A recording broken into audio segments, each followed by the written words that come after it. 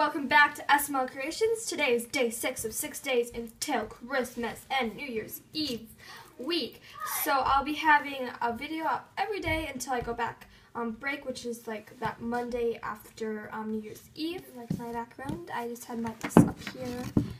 Um, but yeah, um, because yeah, it's Christmas Eve, so I kind of decorated my desk and stuff, and I'm gonna my cutting mats right here because I was just making a wallet but like I'm not going to have it up there for Christmas time.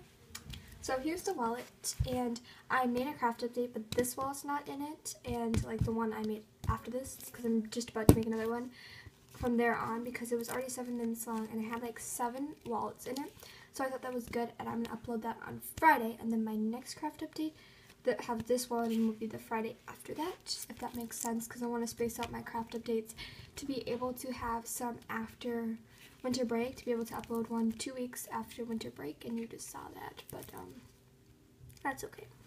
So the seam is clear taped in both of the sides. It has a gold bill folds, and I love the way Patty seams. She goes like, she closes her wallet then she like closes.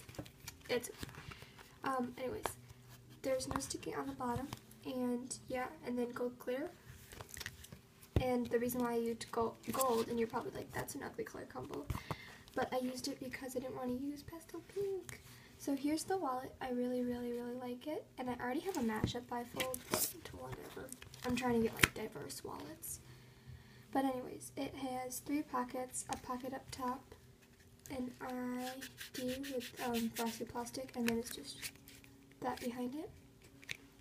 And then I think the trims look really good. And I feel like people that make three pockets and not just two in a short like can show off that they can do the trims better. Because like if you just do two pockets and a short like um you only have to make sure two pockets look good not three.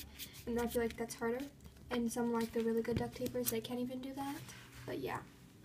So these two sides are clear taped and right here and then this side but not the bottom or this because I decided not to but the glitter is clear taped and right there and then there's two hiddens and the pocket up top and an ID and then there's a coin pouch right here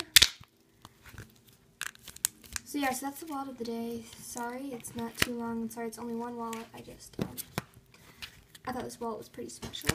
And tomorrow there'll be probably, hopefully a holiday related one or just a really big one. So yeah, so question of the day.